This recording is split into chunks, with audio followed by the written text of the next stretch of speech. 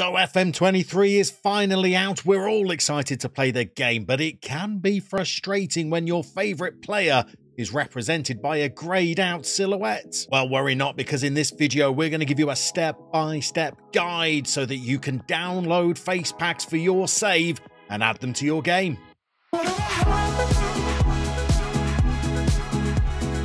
Adding custom graphics to Football Manager can seem daunting if you've not attempted it before, but don't panic, it's not as complex as you might be fearing. And at any point during today's video, feel free to hit the pause button and let us know down in the comment section if there are any more how-to videos you'd like to see on the manager's seat. But without further ado, let's head over to the computer and show you how simple it can be to add faces to your game. So for stage one, we need to find the face pack that we would like to add to our game. The face packs, my favoured site is Sort It Out SI. Once on the homepage, if you hover over the downloads tab, you'll find that they have several face pack styles to choose from. One of the things you may like to factor in when selecting which face pack style is your favourite is how big the file sizes might be. I personally favour the cutout face packs as they match the ones already in the game. Once you've selected your chosen face pack style, the next stage is to download it. It may be worth checking if you already had a face pack for FM22, as you may just be able to download updates to that face pack and copy it over. Or if this is your first time downloading faces, you may need to download the complete pack.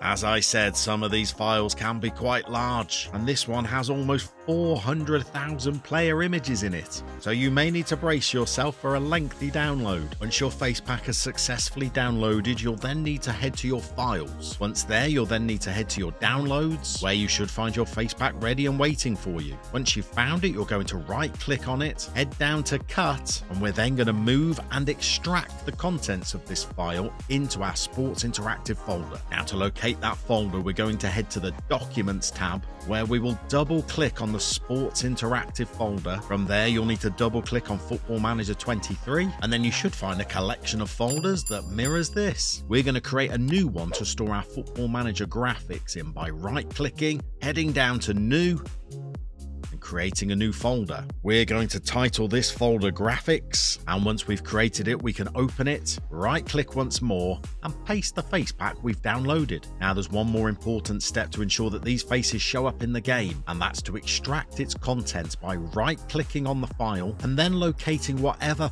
file unzipper we have on our computer. If you don't have one of these tools, you may need to download one from the internet. Once you've located it, then find the option that says extract here and begin extracting extracting your files. Once your file's finally downloaded, you should be able to open it up and check the contents. And then we can open FM23 to make sure the faces appear in game.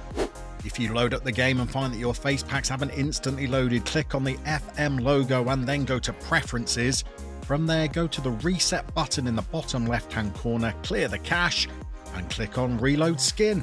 Then, once you click on a player in game, your face pack should appear. Now you've successfully added faces to your FM23 save, but if you're still looking for inspiration as to which team to manage, why not check out this video next?